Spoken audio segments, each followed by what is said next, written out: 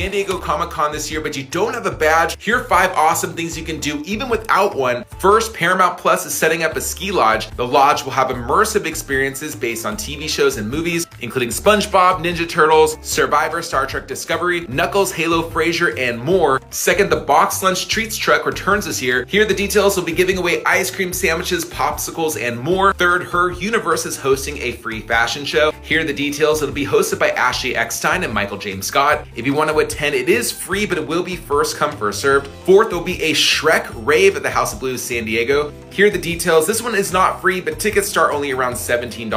And FX will have activations that you can check out, and it'll have activations based on The Bear, American Horror Story, What We Do in the Shadows, and more.